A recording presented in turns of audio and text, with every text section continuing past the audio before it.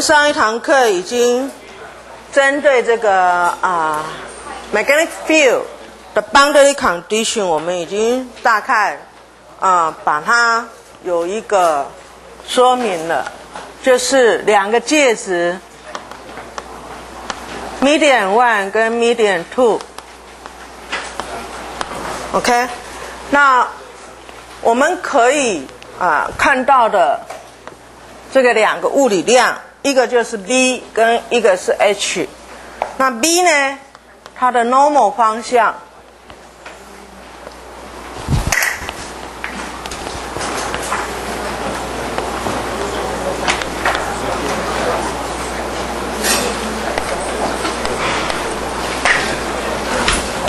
要等于 v to n，这是我们第一个 boundary condition。那第二个 boundary condition 呢？我们如果假设它是 linear 的 median，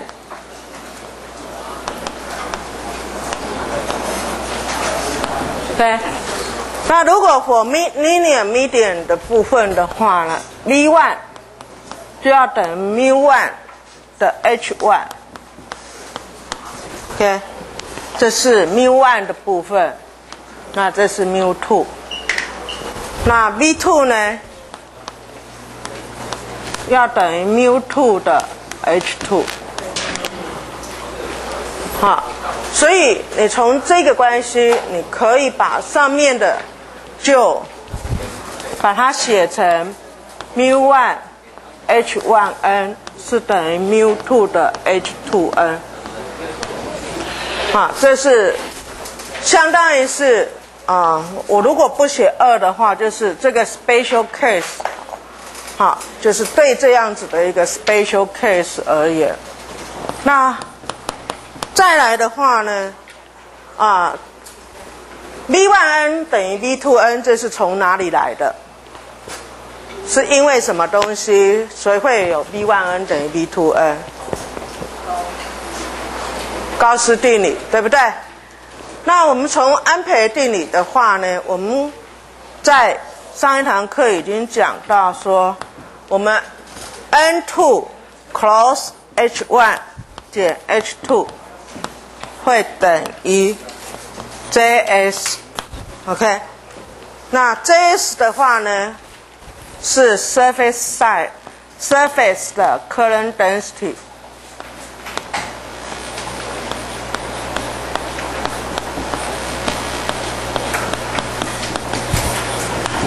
好，然后 n two 呢是从 n two 指向 n one，所以 n two 的方向是它是非常清楚的。那在上堂课课后的话，有同学问了一个啊好的问题，那问到就是这个 surface current 的 density 的部分，我们在上一堂课已经讲过，就是说这是一个啊，这个 surface current density 是完全是针对这个 boundary 它所流过的 surface。那如果你不健忘的话，好，我们说这是一个电流。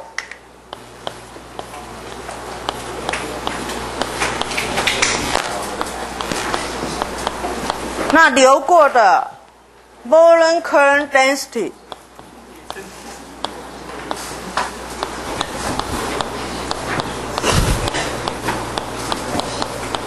它的定义是什么？是变化量，嗯？J 的定义，单位面积流过的电流，对，单位面积所流过的电流 I，对不对？好，那我们把这个 J 的部分，因为它是向量，I 是存量，所以我们把 J dot dA 就是我们的 I。好，所以你看到了 volume current density，它是什么？单位面积所流过的电流。所以在这里面，你的 surface current density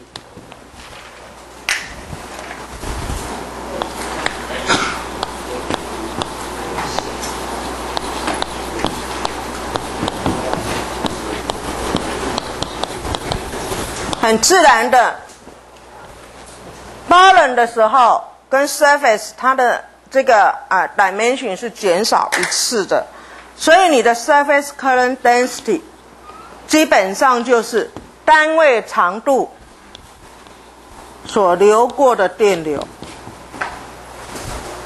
所以你看到了，我说我用作安培回路的话，那你看到的是什么？这个 boundary 在这个界面上面，单位长度所流过的电流，就是我的 surface current density。换句话说，我的 surface current density 乘上 dl 就是我的 I。OK，好，所以它的电，它的 dimension 是单位长度的电流。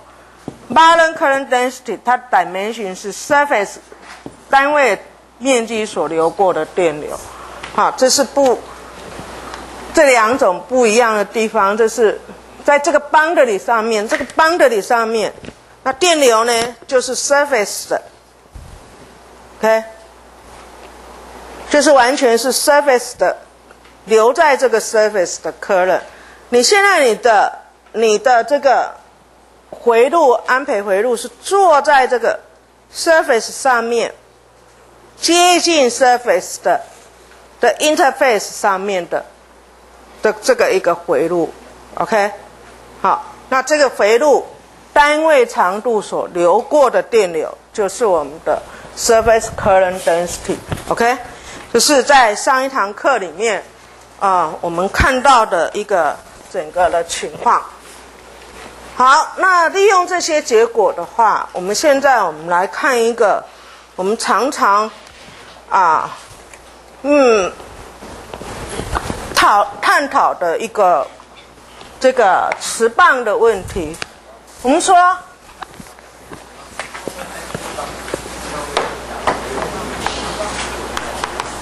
在上几堂课里面，我们已经知道。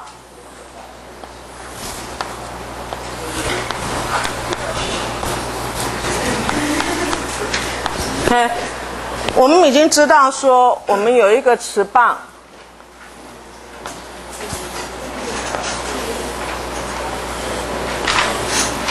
好，那这个磁棒的话呢，啊，它的 M 是一个均匀的，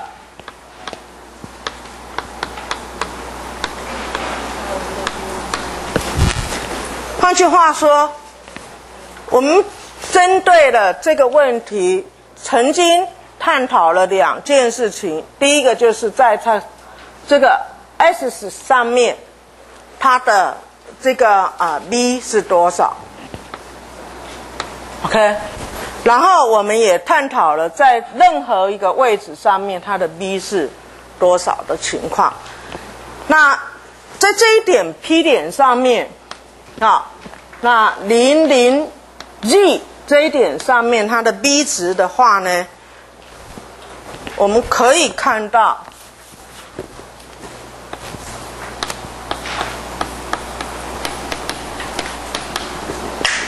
我的 B 值，你可以去查一下，是等于二分之 mu 零 m 零，然后 z。加二分之 L 平方加 V 平方，V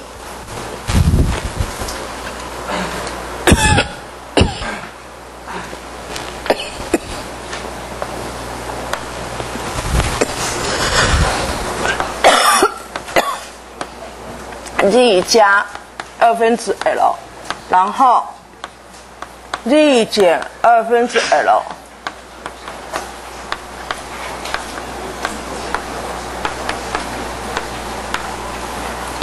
这是我们在呃前几堂课里面我们所得到的一个结果。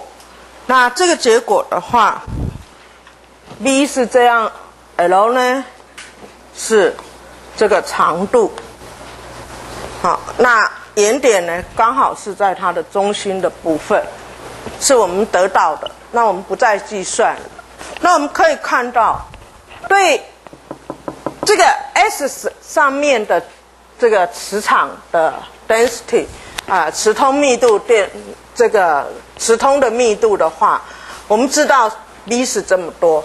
那我们看到，如果把 Z 等于零这一点，换句话说是在零零零这一点，我的磁通密度啊米 P 零。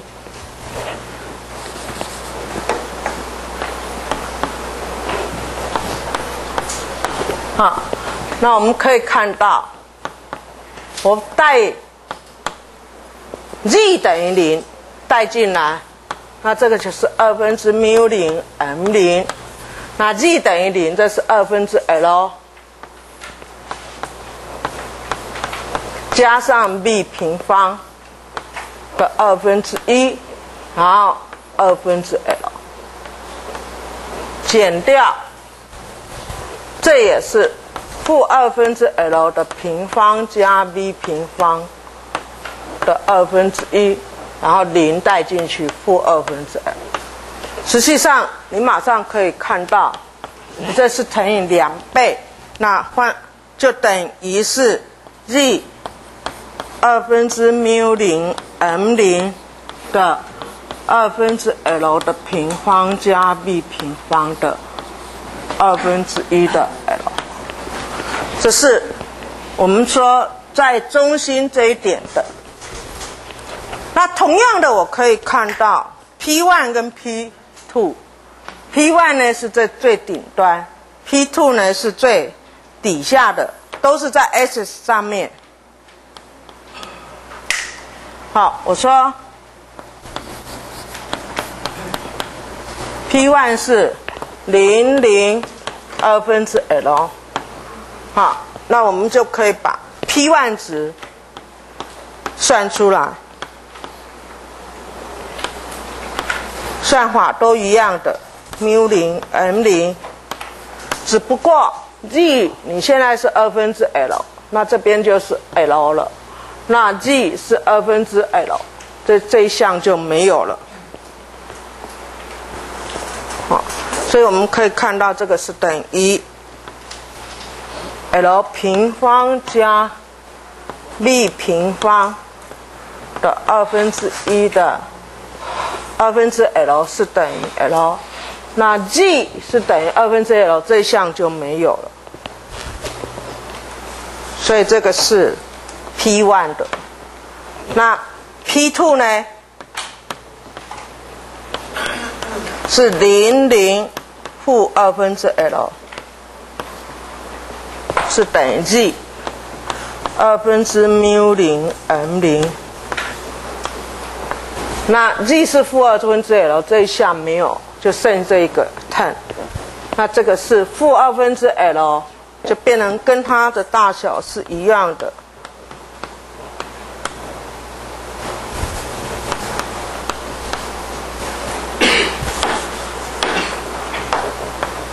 那它的大小是跟它是一样。那你现在你把这几个物理量比较一下，我们会发现说，我们是 v p one 跟 v p two 相等，但是我们把 v p 零跟它比较的话，你会发现 v p 零的部分，因为这是二分之 l。那这是 l，所以它会比它大，对不对？这个值会大于它，这是第一个。那如果你现在看到是说，哈，P 零的值比它大，那代表是什么意思？你一个 flux 流进来，然后中间会比较大，然后旁边。又会比较小，对不对？那代表什么？代表这边有什么？从 flux 进来以后到出去，中间这个地方会有什么？flux linkage，对不对？有没有听得懂？你现在 P one 跟 P two 两端的 B 值是一样的，然后 P 零 B P 零是中间的，那 V dot ds 当然就是 flux 啦。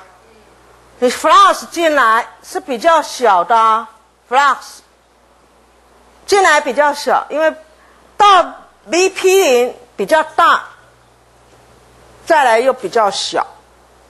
那从 flux 从这个地方到这个地方是不是有 flux linkage？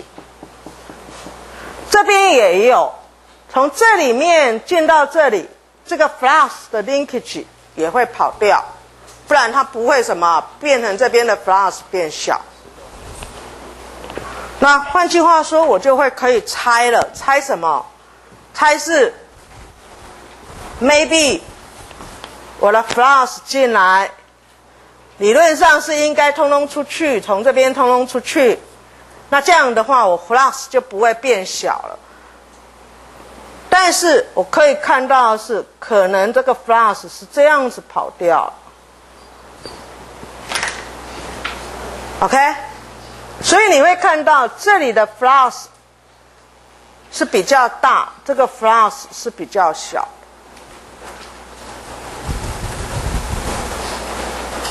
那有没有问题？这是你第一个会猜测的。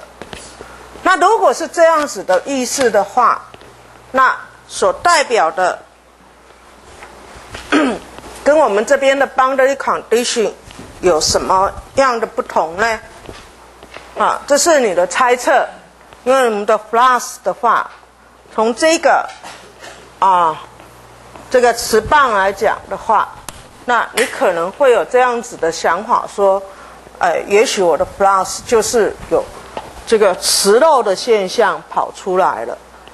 好，那这个部分，假设你有这样的一个想法的话，你就要来去看一下，是不是这些 boundary condition 可以给你一些啊这个想法说。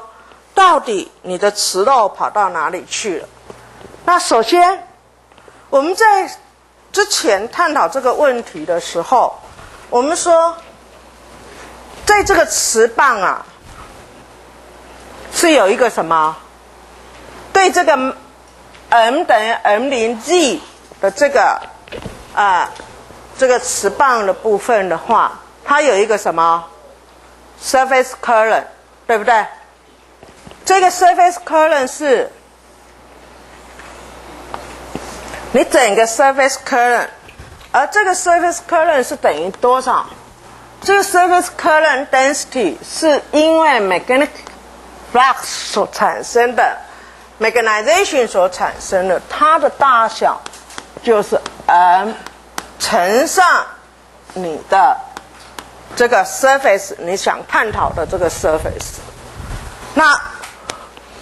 对于我们现在我们看到的这个 V 啊，M 零 Z，然后 M prime 呢，就是我们这个 surface，surface 的方向都是什么？都是 phi 方向，哎，都是这个 rho 方向，不是 phi 方向。所以我们看到了我们的 surface current 是等于 phi 的方向，也就是说，在这个磁棒上面是有一个 surface current，就像我现在这样画的，它的大小是 m 零，方向是 y 的方向。那我们由 boundary condition 可以看到，OK，在这里面我就可以知道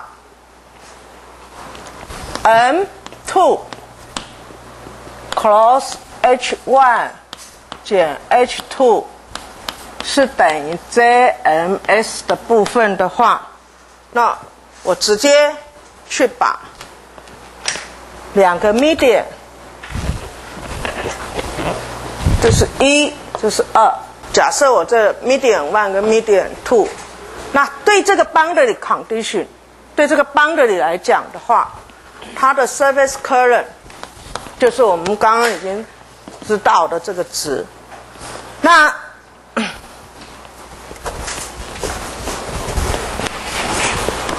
N two 呢？N two 我们已经刚刚看到，就是说 N two 所指的是从 median two 指向 median one 的，所以 N two 的部分实际上就是 median two 指向 median one，就是我们的什么肉方向，然后 close H one，H one 是你不知道的，OK。然后 H two，H two 是你里面的，你已经知道的值，OK，这个要等于我们的 M 零 y，这有没有问题？啊？那 H two 是等于多少？H two 我们已经知道说是在 median 里面，也就是 inside 的 B inside 的部分的乘上你里面的 mu 值，就是里面 mu 内部的 mu，OK，那这个就是等于二分之一。如果我们把 z 等于零这一点。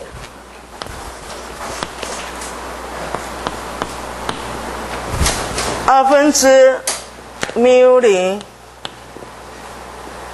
m 零啊，我不需要，我用 general case 好了，先把它写出来，因为里面的 b 任何任何一点的 v 值都可以用它来表示，那我就说这个是二分之缪零 M 零，然后。v 加二分之 l 的平方加 v 平方的二分之一分之 z 加二分之 l 减掉减二分之 l 平方加 b 平方的二分之一的 z 减二分之。然后整个是 G，那内部的 mu 值，嗯，你把它放进来，这就是 H2 的值，OK？那 H2 你已经知道，现在我们接着我们想要知道的就是 H1 的部分是等于多少？好，从这里面你扣。H two 你知道的话，那你把它乘进来就可以知道 H one 是等于多少，OK？所以我们可以看到 H one 的部分啊，这是我们有兴趣的，那就等于 M 零 y 减掉。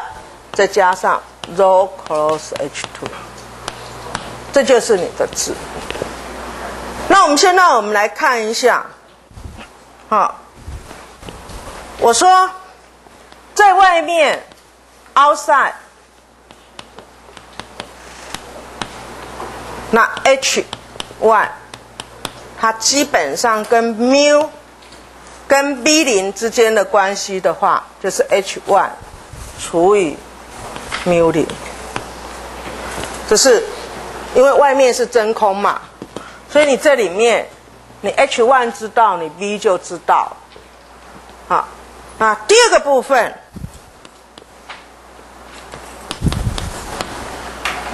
好，第二个部分呢，在里面的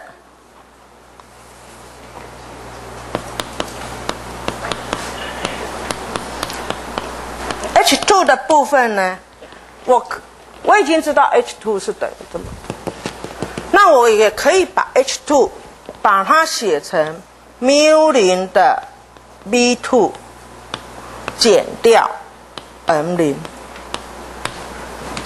是没有问题的，因为依照这个啊 BH 之间的关系的话，我们可以知道。那我们可以看到。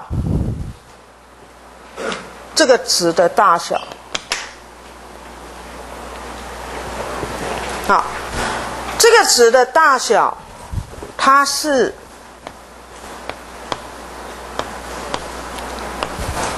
远小于 V 零。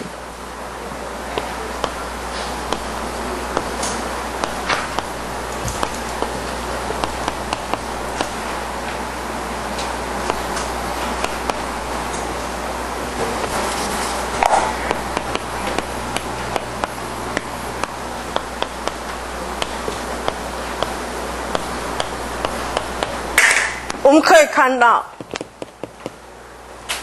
换句话说，它小于它的意思就是 h two 的方向跟 v two 的方向是什么？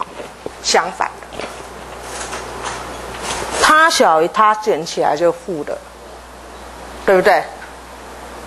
所以我们可以看到，就是说，H 和 V。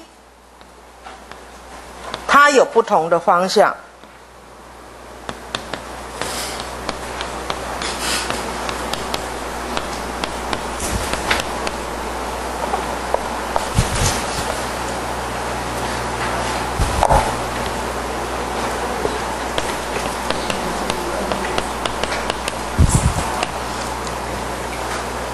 在。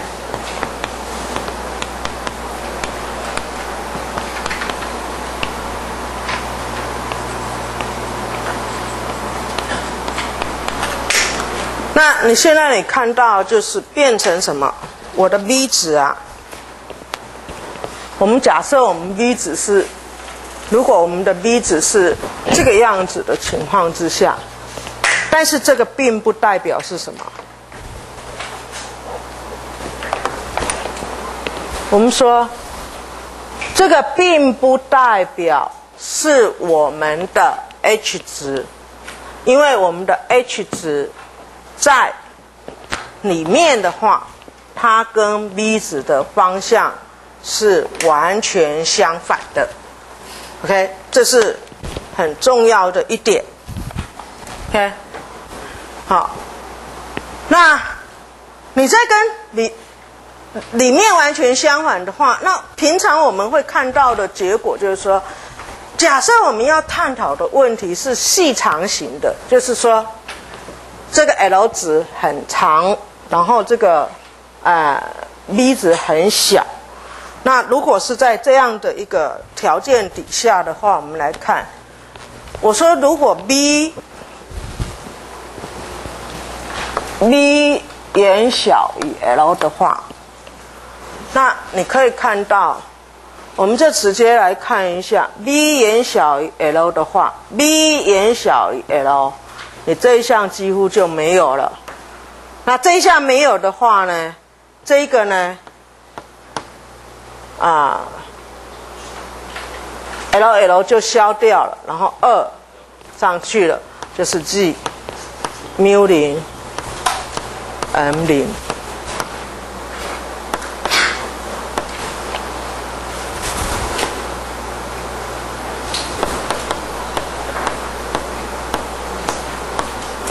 在这个条件之下的话，你就可以看到，在这一点上面，而它是非常均匀的，而且是啊，mu 零 m 零的一个值。那如果如果在这个点上面的值是这么大的时候，我们可以看到一个有趣的事情。我说 H two 啊。是等于 v two 的 mu 零减 m 零。你现在你这里的 v 的值就等于 mu 零 m 零，所以 mu 零 mu 零消掉的话，那 m 零减 m 零这一点上面你看到的，你可以推论出来，我的 h two 等于零。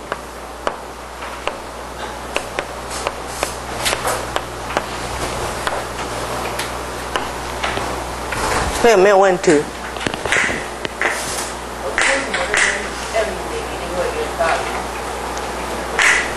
你的 B two B two 的值是这个，OK 啊，M 零在这里呀、你现在 mu 本来就是大于 B，大概大于哎，这个大概差不多相等啦。OK，或者是它比它如果有磁性物质，它远大于它啦。磁性物质的话，mu 就远大于 B 零啦。啊，那这个项小于它，这个项也一定是小于它。这个项一定大于它嘛，这个项也大于它。不管你怎样，你减出来的结果这一项的话，这二分之这两项比较起来就是大于等于一的值，这二分之把你把 mu 零呃，等一下，对不起，我应该要从这边看，b two 在这边，OK，好，那我把 mu 零除掉好了，这个 mu 零除掉，除过来，就是这一项，OK，那这两项算出来的结果，这个是二分之 m 零了啊。那这两项算出来的结果，这个是远小，这个是小于它的，这是小于它的值。这两个减起来的值，在 g 等于零，我们就以 g 等于零这一点来看待的话，以 g 等于零这一点来看待哈，这减起这减起来的话，这负负得正啊，负负得正的话，这个值一定是小于一的值，不会是大于一的值。因为分母比分子大嘛，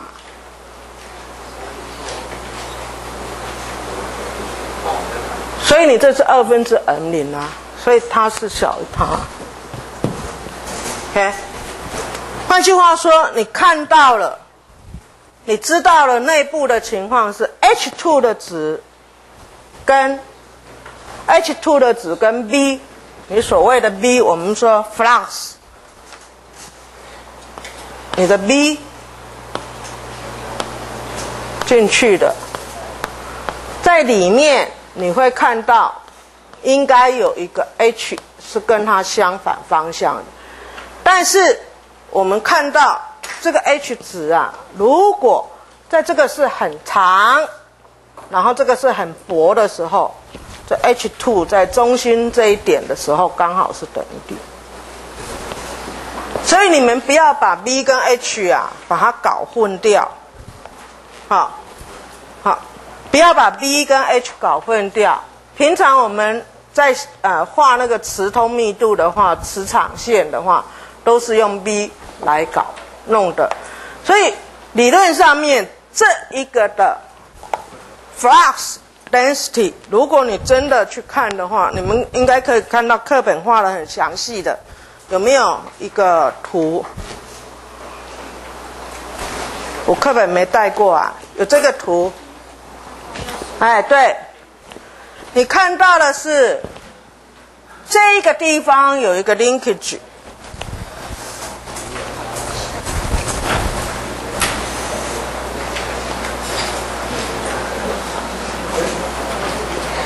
而这个 linkage 呢？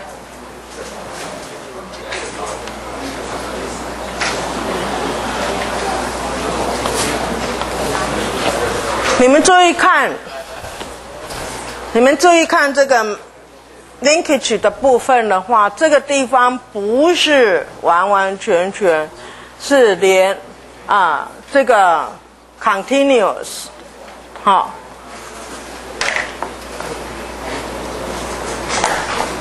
这是我们必须要知道的一个部分。哈，这是我们在这个磁棒的部分，因为你里面有磁场的情况之下，那呃有 magnetization 的情况之下，那你去探讨 magnetic field 的 intensity 跟 magnetic flux 的 density 这两个东西，好。是应该要把它分开来，而且要很小心的去处理它的。好，这是我们在啊探讨这个啊 boundary condition 的时候，你可以看到的一个有 surface current density 的情况之下，那我们可得到结果。如果你想要把这个问题更精确的去算，实际上我们是有算了。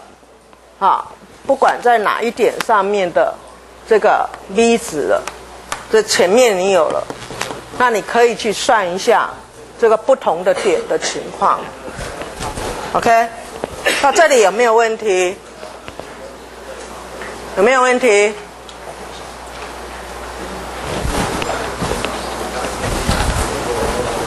好，那如果没有问题的话。我们要接着进到另外一个 topic。你现在可以看到磁场已经比电场复杂蛮多的了。那我们在使用上面，对于磁场的使用的部分的话，基本上面和电场一样。我们在电路上面有三个元件是我们常常用的，这三个元件不管哪个电路，你通通要用到的。一个就是我们的电阻，另外一个就是什么？电容。这是在于磁电场的情况之下，你要储存电能，你就要用电容把它储存起来。那对于磁场呢？你相当也会有一个储存磁能的元件，这个就是我们的电感。OK，所以整个电路啊，就是你 R、C、L 这三个你组合起来所有的电路元件的部分。好，那在之前我们已经讲过，电阻，电阻呢是跟什么？长度成正比，跟这个截面积成反比，它是跟形状有关系的。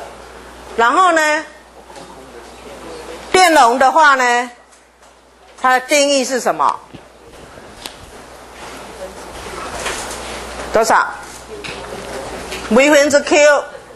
好，那它是会跟 potential 关呃 potential difference 有关系吗？跟它所带的 charge 有关系吗？都不会。那它跟什么有关系？哎，也是跟形状有关系，对不对？同样的，现在我们要看到的电感，跟这两个东西也有一样的性质，只不过电感这个东西呀，比它们上面两个更加的复杂。为什么？因为电感呢？它分了两个部分，一个就是质感跟负感。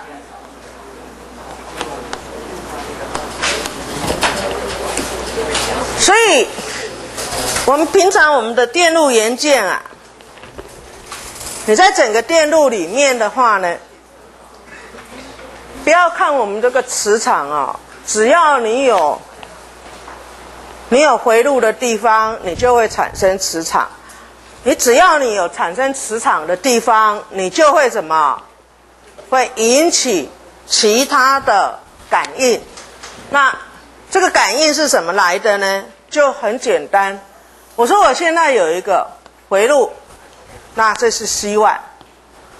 那希望的回路呢？当然，基本上面我有 flux。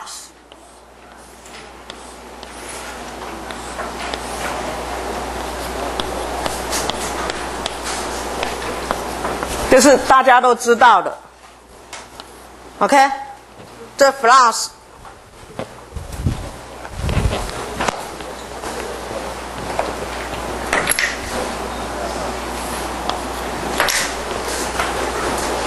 就是单一个回路，你有 flux，那没什么好呃争议的。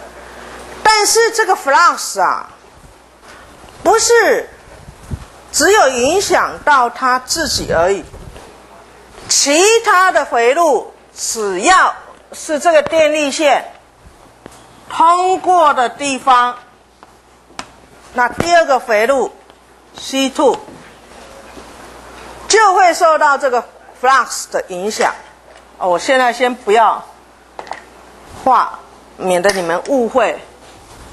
只要有一个回路，这个回路呢里面可能没有电流，但是只要有 flux 通过它的时候，这个回路就已经什么，已经不是它本身了，就被改变了。那它改变的是什么呢？我们看到，我说 C one 的 current 这个回路里面所带的。I one 的 current，那这个 I one 的 current 呢，产生的是 V one 的场。那这个 V one 的场呢，它在 C two 的回路里面会有一个这个 flux，这个 flux 是因为 C one 所产生的 flux 通过 C two 的回路，所以我说这个 flux 的场来自于什么？？C 万所产生的 V one 的，然后，france 本身。的大小是场乘上这个场通过的面积，对不对？面积是谁的？C two 的。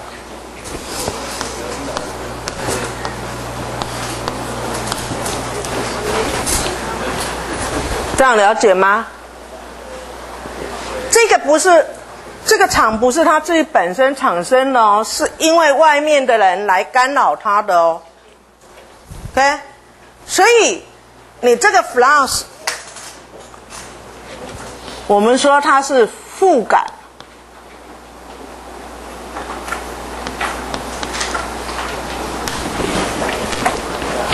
它是负感，好，所以你现在你就可以知道，就是说，本来磁场啊，磁场是什么？封闭的曲线，对不对？所以它会到无穷远的地方。所以我们现在每一个同学，你只要你身上是有什么，有金属线，然后有一个导线，圈圈圆围起来，你就在接受什么别人给你的负感，就是 mutual flux。OK，那这个所得到的一个结果。这个得到的结果，我说他得到的结果啊，如果他是 I one 是稳定的话，假设 I one 是稳定的，那就没什么关系，反正他就是稳定的通过它，没关系了。如果 I one 是不稳定的，它是随着时间在改变的，那你这个 flux 就随着时间在改变。那我们在之前，你们在大一普通物理已经学到了，就是说，只要一个回路里面内部的 flux 在改变的时候，它会产生什么感应电动势？那这个感应电动势就会什么产生在这个 C two 上面？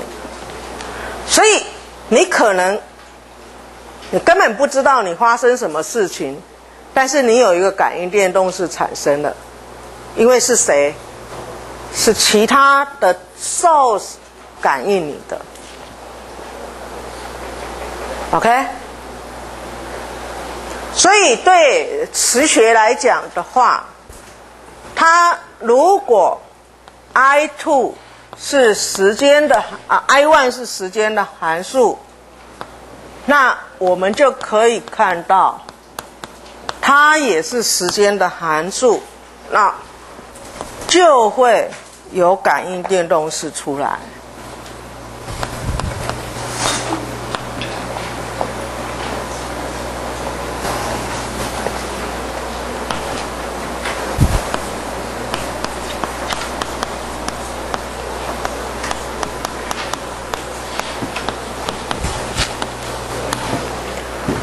好，那我们先不谈它的感应电动是多少，我们可以知道一件事情，就是说，Φ 呀，一二，它的大小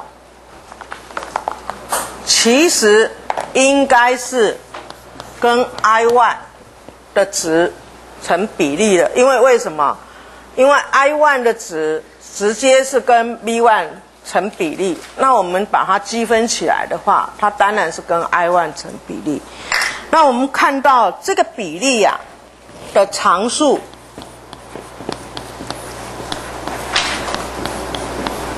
，OK，这个比例常数就是我们所称的互感。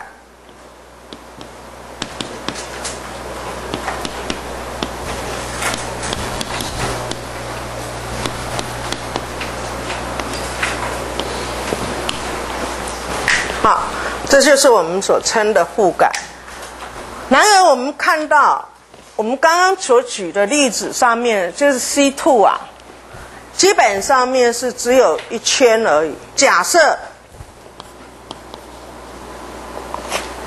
在 C two 上面有 n 圈导线。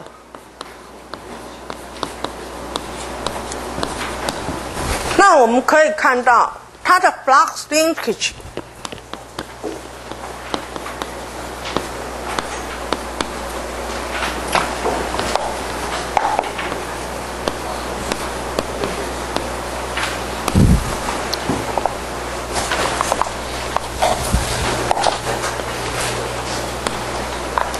好，你这个 flux linkage 是等于多少呢？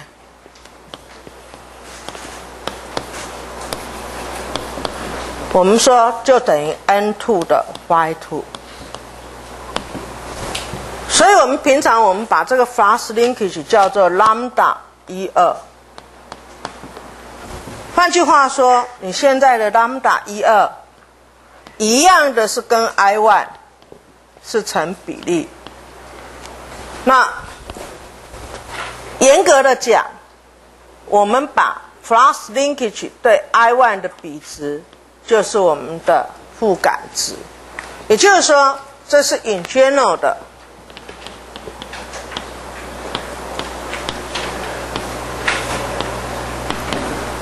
好，那这个 L 一二，它的定义就是 flux linkage 除上 I 一二，哎 I 二，对不起，I 一不是 I 二，OK。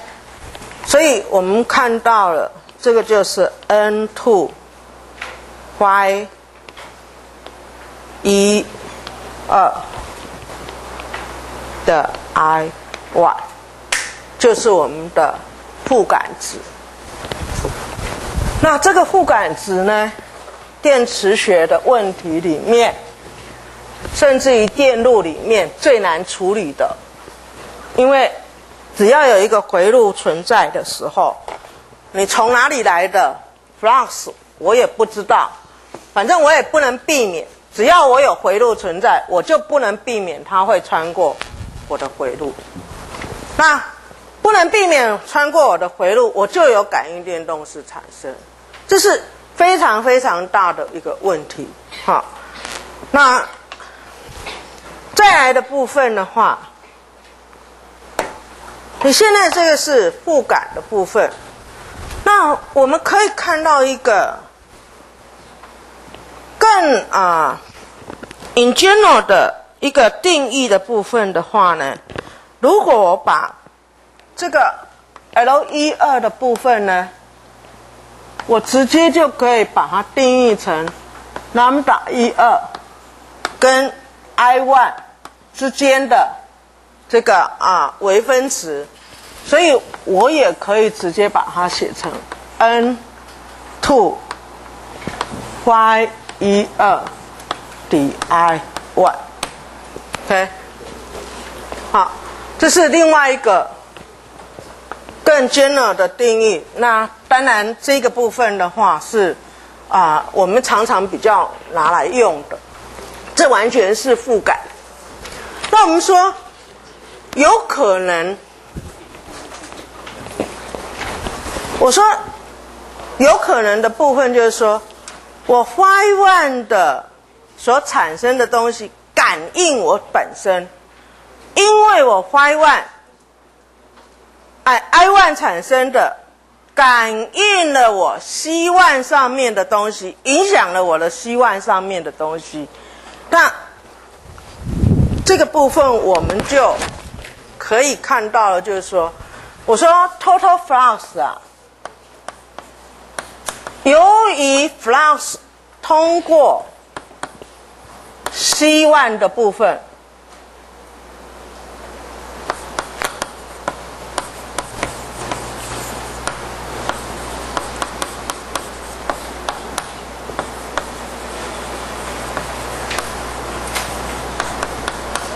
OK I one 通过 C one 的部分是等于多少？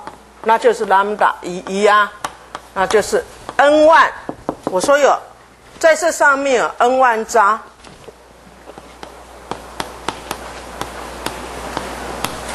OK，那 n one 乘上 flux，这个 flux 是等于呢？因为第一个 C 万的电流引起 C 万的这个 flux 的大小，那 N one phi 一一的部分，你确定的一件事情，我非常是清楚的，就是 phi 一一啊，一定会大于 phi 一二，这是毋庸置疑的。因为为什么？我们说这个 flux 通过它了以后，它会发散掉。那我们的 C2 到底多大？它你都不能完全包含它，所以我们说 phi 一一一定大于 phi 一二，这是没有什么好说的。所以我们可以看到这一项啊，lambda 一一啊 n one 发一一一定大于 n 万的 phi 一二。所以从这里面你可以看到，哎，如果定义一个物理量，因为它如果是 linear 的 median 的时候，我可以把 lambda 一一除以 i y，这个物理量。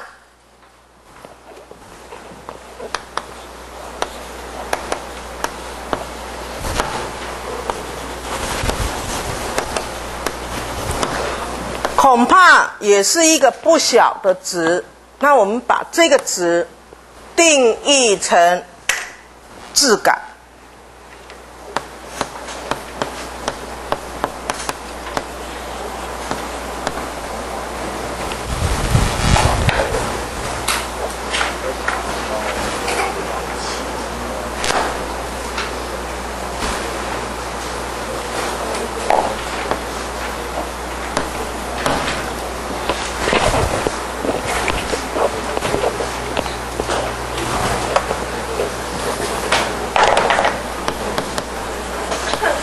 OK，质感。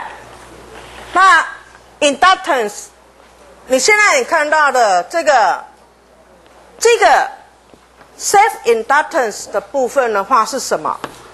为什么它重要？就是说我原来我 I one 如果在很稳定的，那它的 flux 就就稳定了。当 I one 改变的时候，我这上面的 flux 也会随着 I one 改变，那也会产生一个感应电动势。那这个感应电动势产生在哪里？产生在这个 flux 呃，在这个 I one 的 current 上面会影响的。所以你在讨论 flux 的 linkage 的部分，你不止有负感的部分，你也必须把质感的部分拿来讨论。那有一个事实是说，我们质感的部分是一个值蛮大的啊，负感的部分就会跟什么这个物体的形状，跟这个物体跟它，哎，这个 loop 跟它的距离有关系。OK，所以我们在这里面，我们看看看到了，就是说，其实你的 inductance 啊，它应该是会跟你的形状，OK，会有关系。那也会跟你的缪值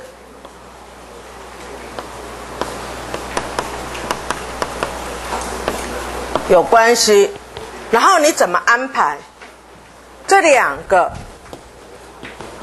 loop 怎么安排？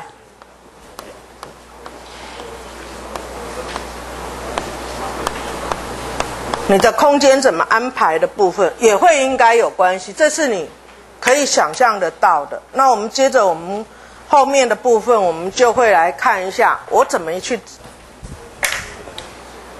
把我们的 inductance 把它计算出来。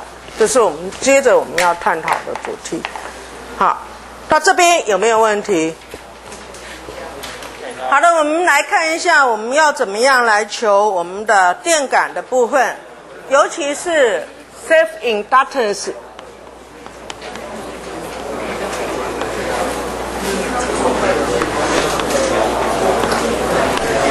那这个质感的部分的话呢，基本上面我们在啊整个的电路应用里面，我们已经知道质感是比负感来的大的时候，所以基本上面质感的部分，如果你是一个啊。电感的东西的时候，你必须要先把质感求出来。那依照我们啊刚刚的定义的部分的话呢，我的质感值是我的这个啊 flux linkage 除上 i1。虽然我到 final 的结果，我所知道就是说，不管那个上面有没有电流，我的质感值。都应该是存在的，但是在我的计算过程当中，就好像我在计算这个啊 capacitor 一样的部分的话呢，首先你要探讨的这个啊质感值的话呢，L 一一的部分的话，有几个步骤你是一定要先啊非常。把它实实际上去演练的时候要注意的，那第一个部分就是你要选一个适当的坐标系统。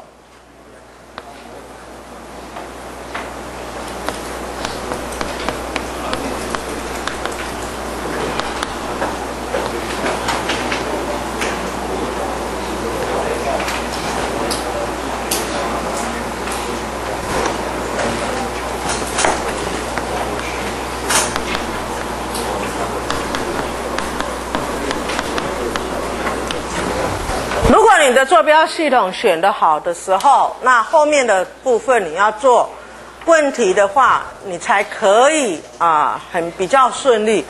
第二个部分是你要假设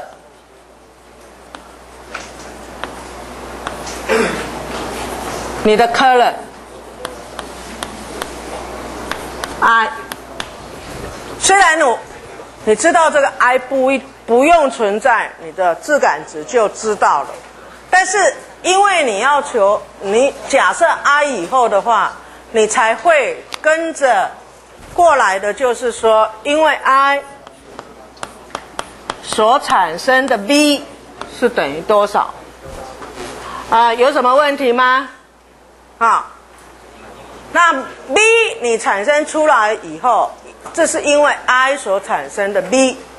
那 B 知道以后的话呢，你才可以接着去计算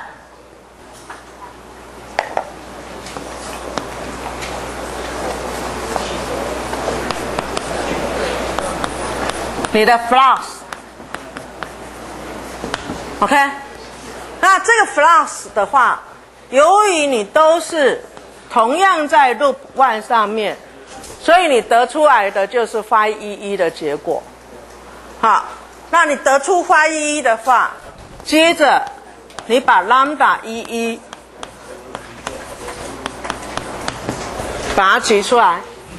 好，有什么问题吗？OK，好，那 lambda 一一得出来以后，你再把 I one 除掉，就是你的电感值，这是标准的步骤。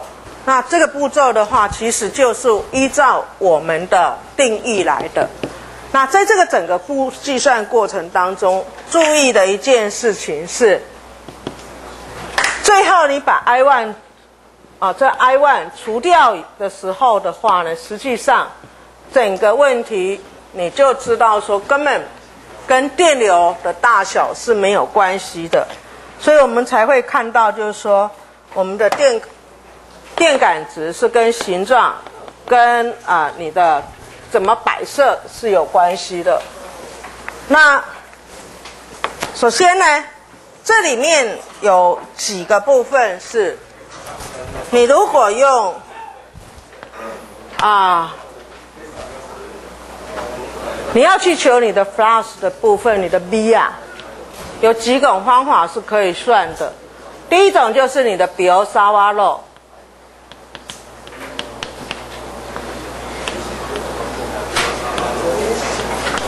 好，那另外一个部分呢，就是安培回路定理。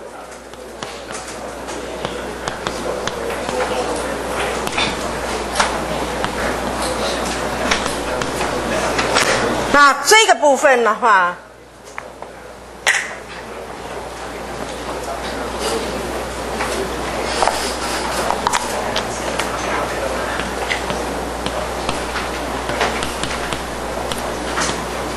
这两个都是你可以计算的。那为什么会说这两个是你可以计算的？就完全是你这个是坐标系统，你是不是可以得到一个适当的坐标系统的时候，你能不能用安培回路定理，是一个很重要的一个件事情。好，这是两个我们所得到的一个情况。那同样的，你要求互感，也一样的方法去做，只不过。现在你要算的时候，互感的部分、积分的部分是积在 C two 的部分而已，哈。好，那我们现在我们就举一个例子，最常看到的几种形式的那个电感。第一种形式的话呢，是我们螺旋旋管的形式，OK。那这个螺旋线管形式的部分的话呢，我们说它有 N 匝导线，好，那 N 匝导线的话呢，我如果半径是 b，长度是 l，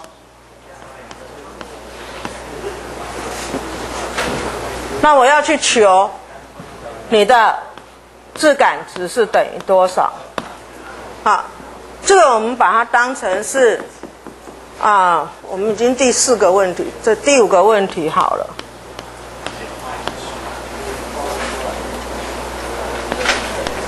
好，你们自己算一下，因为这个啊非常简单的，那你把电场算出来，然后那哎不是磁场算出来，好，那这个磁场的话，算完以后你就磁通量就可以得到了。这是我们常常看到的电感。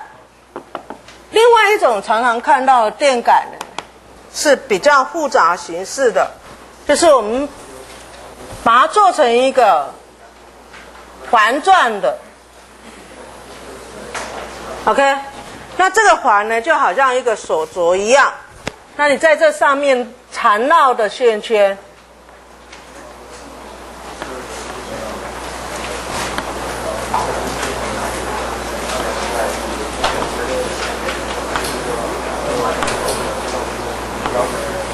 有一种情况是，你缠绕可以是圆柱圆形的线圈，也可以是你这个截面呐、就是这个截面积呢，你可以是这个啊长方体的部分。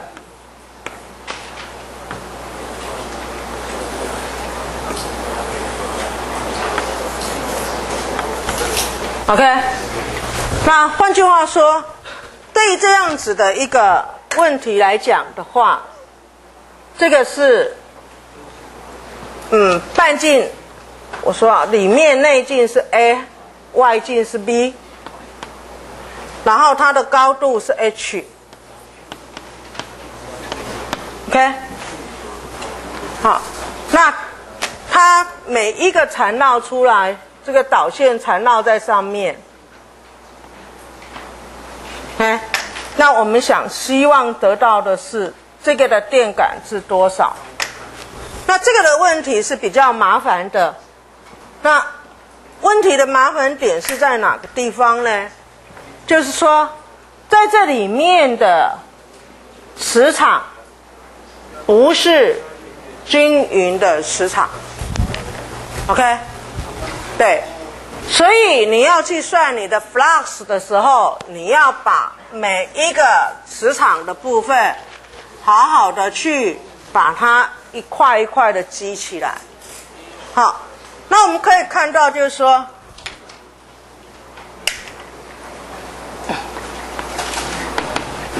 对这个问题来讲的话，啊、我取一个比较适当的坐标系统的时候，我说我取的这个坐标系统是一个圆柱的坐标系统。那在这里面，换句话说，这是一个啊，这个线圈把把它包围着。那你会看到，就是说，既依照我们的这个啊安培回路定理的话，那你这里面的话就是 mu 零 i 的部分。换句话讲，这里面的电流的大小的部分，就是你现在如果我有 n 扎导线在这里面的话，那这里面的 total 的电流应该就是 mu 零 n i 的部分，这是你可以知道的，因为你们所包围的这个线圈的啊，这个通过这个包围的线圈里面所流过来的电流就是 n 乘上 i。好，那我们看到的是这个 B 呀、在这里面，我们之前面上堂呃，这个上几堂课，或者是上学期的部分，我们说 B 是一个对称的。那你 B 是对称的部分的话呢，我们可以看到它 B，它是 phi 方向的部分，所以我们左边的积分 B phi 乘上二派 r phi，整个积起来是等于 B 乘上二派 r，是等于 mu 零 n i。那 B 值的部分是等于二派 r mu 零 n i，这是你已经知道的的结果。这到这个步骤都是我们上学习的范围。那现在我们看到的是说，对于这个 v 值，你通过的这个截面的 flux 等于多少？那我们现在我们看到，我要去算它的 flux，就是我们要算它的 ds。那我的 flux 的大小就是 v dot ds。ds 要怎么办呢？ds 是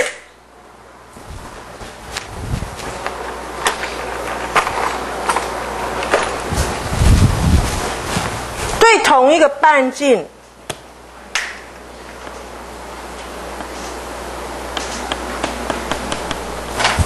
这个半径范围里面的，对同一个半径 r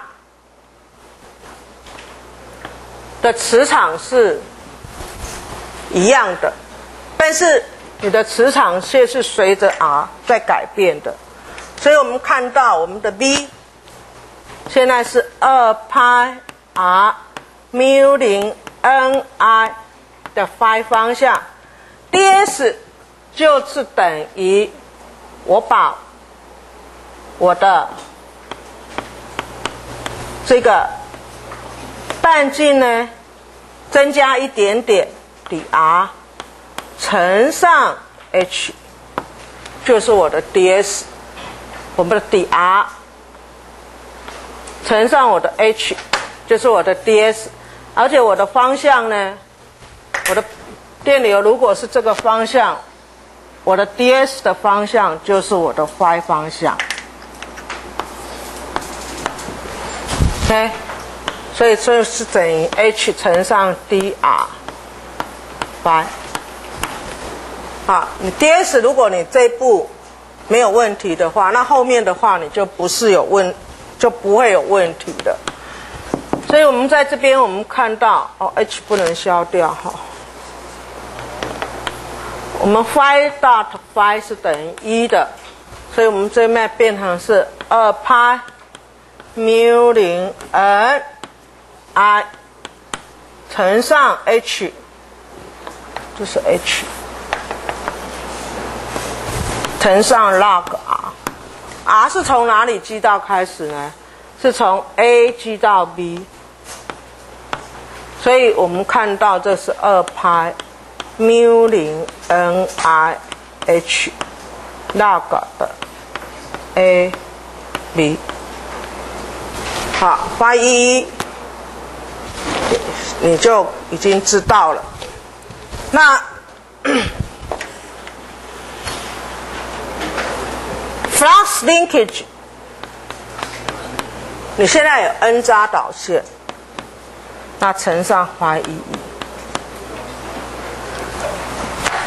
所以我们看到这是等于二派 mu 零 n 平方 h log b 除以 a，所以。我把它除以 i 除以 i 除以 i i i 就消掉，这就是我的质感值。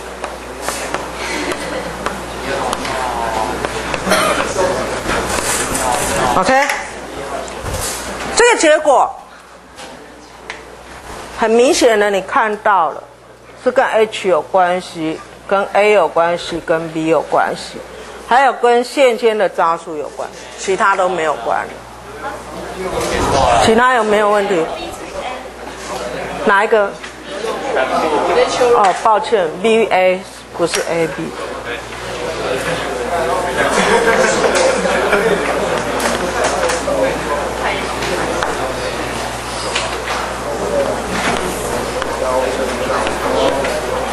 好。谢谢你们提醒。他这边有没有问题？他这边有没有问题？好，那我们可以看到这个这个结果的话，是我们常常拿来使用的一个啊，我们说这是镯子状的这个啊这个质感值。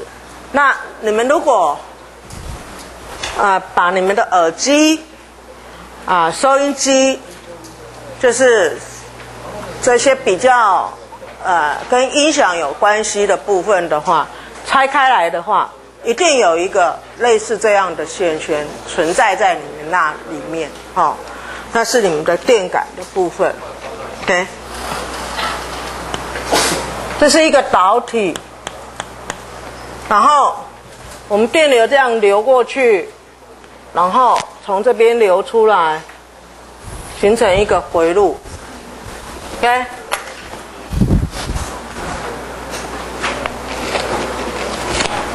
然后这里呢，是绝缘体的部分。所以你看到的是，如果我们把那个侧面看起来的话。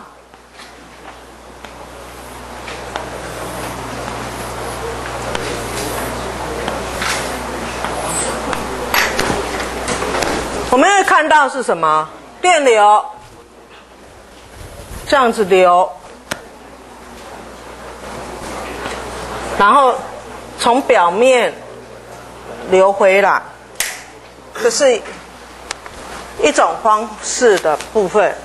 那另外还有一种方式的啊，大部分啊这边里面是一个铜的啊比较粗的，你把那个 cable 啊。如果你把你的 cable 拆开来看的话，里面是比较粗的一根铜棒，然后这里面是一个网状的绝缘体，然后呢，外面呢是一个铜网，哈，所以这是可以导电的。那这个也是一样。那在上学期的话呢，我们就是把这个东西拿来算它的电场的部分。那现在呢，你要看到的是，这是电流的部分。OK，换句话说，这个本身就是一个电感啊，你要去计算它的 self inductance。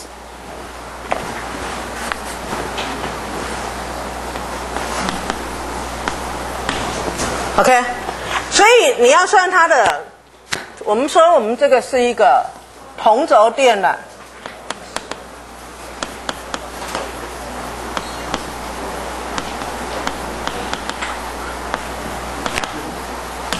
好，那你可以这里面是啊不同的介质，也可以是用空气把它隔绝开来，但是大部分这里面大部分都不会是空气，因为空气的话你还要支撑的问题，都是会有一个绝缘体的一个部分，所以对于这个介质来讲的话，跟这里。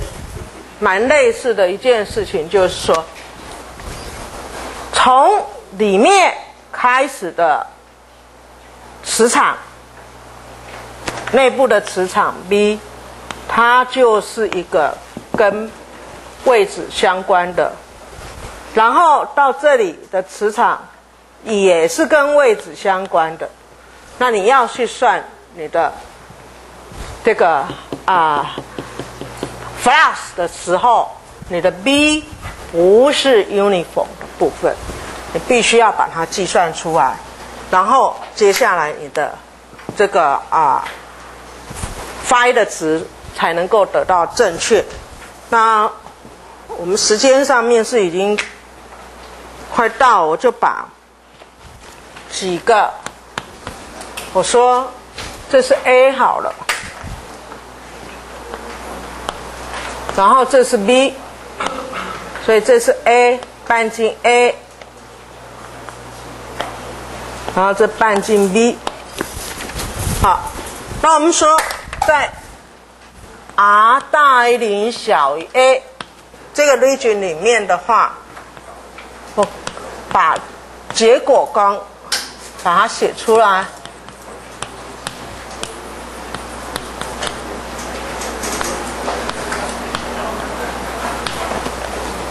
我的磁场大小，那 R 大于 A 小于 B 这个 region 呢是 mu 零。I，然后到这个外层的部分 R 等于 V 的部分。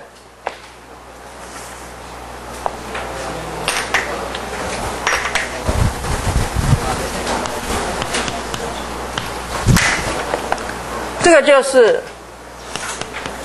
二派 r，r 已经是 v 了，mu 零 i。好，主要的我可以把 v 的值就直接放在这个这个 region 里面。那你现在我们要算我的 flux，flux 的结果 v dot ds，你的 B 是完全 phi 方向的部分，所以有一件事情是什么？你的 a 是哪一个地方啊？我现在 plus 是这个方向哦，所以我的 a 是哪里？a 是必须要什么？对。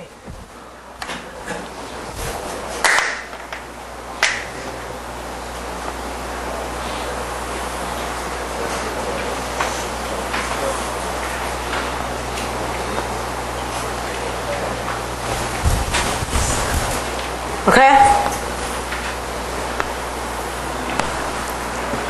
我们看到了这个 ds 啊，是薄薄的 dr 乘上你要细算的长度 l。有没有问题？就是你的你的 flux 经过的 dA，所以我们现在我们看到我们的 B 啊，是从零 G 到 A，你的 B dot L D R 这个的方向一样的。我现在我如果电流是这个方向的话，那我们的 phi 是这个方向。换句话说，我的 A 我也是我的面积也是我的 phi 方向，然后再加上从 A G 到 B B dot L D R 的 Φ 两个部分，第一个部分就是这个。V one 的部分，那我们可以看到它是等于二派 a 平方 mu 零 i r l 乘上 d r。第二个部分 a 到 b 二派 r mu 零 i l 乘上 d r。好，所以两个部分去计算出来的结果，才是你 total 的 flux 的大小。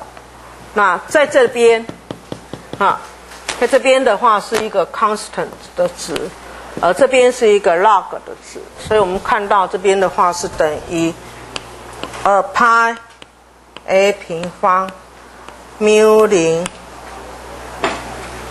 i l。然后乘上二分之一 a 平方。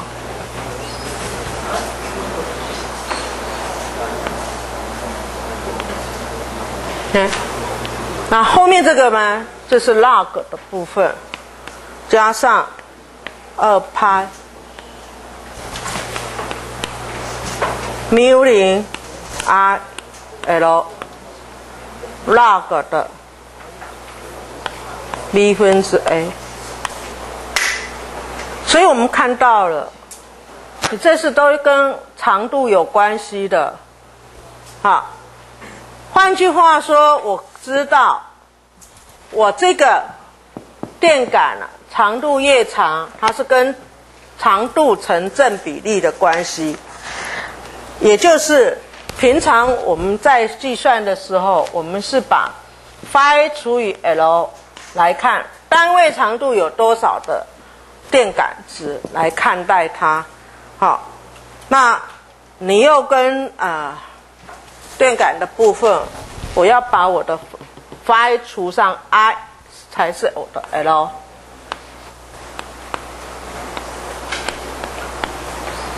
这个还是单位长度的电感值，OK，所以这个一除上。除完以后的话，就变成，嗯，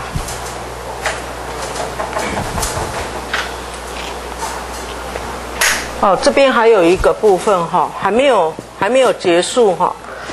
这里面有一件事情是，在这里我们要计算的时候，这边的 i 啊。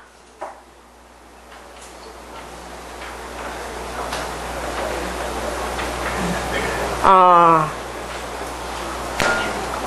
你要除的时候的 i，这边都没问题。到这边你要除 i 的时候呢，我说 i 除以 l 分之 phi，这个 i 是 total 的 i，但是你在算内部的 phi 值的时候，每一点的都不是这个 total 的 i。所以你不能直接把 i 全部除过来，我们在这边的 i 必须要再做一个小的处理，好，才会得到实际上的值。也就是说，内部这一部分、外部这部分都没有问题，这个 region 都没有问题，因为你流过的都是 total 的 i，好，但是在内部里面每一个。Flux 所流过的那个都你的底 i 的部分，这个底 i 啊，这个 i 不是 total 的 i，所以我们不能直接把 i 除掉。OK，到这边的 i 必须要做一个小处理以后才会得到正确的值。那我们在上一堂课，我们再把它稍微补充一下，好的，OK。那这是我们在啊同轴电缆的部分我们所注意的。